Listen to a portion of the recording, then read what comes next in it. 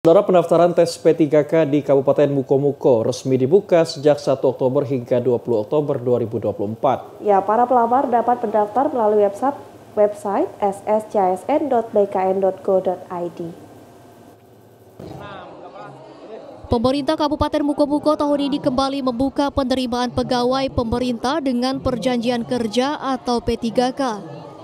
Berdasarkan data dari Badan Kepegawaian dan Pengembangan Sumber Daya Manusia Kabupaten Mukomuko mendapatkan kuota sebanyak 850 formasi. Penerimaan P3K ini diharapkan mampu menambah kebutuhan ASN di Kabupaten Mukomuko. Kepala Bidang Pengadaan Pengembangan SDM dan Pembinaan ASN BKPSDM Kabupaten Mukomuko, Niko Arfi menerangkan tenaga honorer yang ingin mengikuti tes P3K dapat mendaftar melalui website SSCASN yang telah dibuka sejak tanggal 1 hingga 20 Oktober 2024.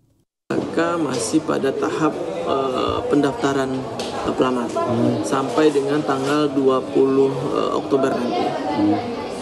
Setelah itu bang apa yang akan dilaksanakan? Uh, setelah itu nanti akan ada seleksi proses seleksi administrasi. Hmm.